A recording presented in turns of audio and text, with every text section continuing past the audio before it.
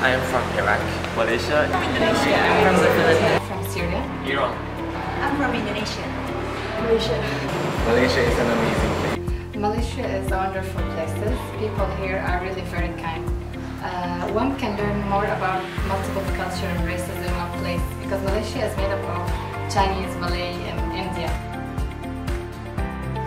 Uh, it was enjoyable. It allows us to discover uh, KL in a very funny way. I think it's quite interesting and exciting because like people even like especially for foreigners like Indonesia and Philippines they get to know where KL is and the interesting places in KL. So I think it's quite a good experience for them also for me myself.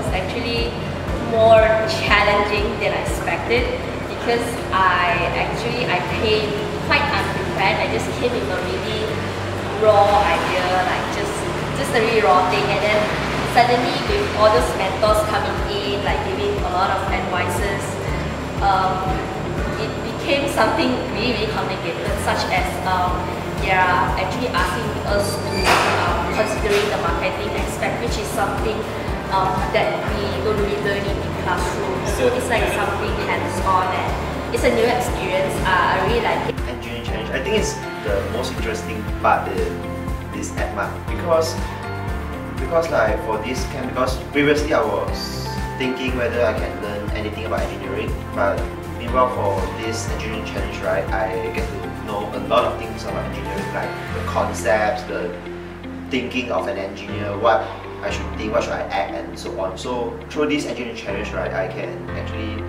practice how to be a professional engineer Um, the people here. Really like the way they treat us. And it's like we really gain new friends.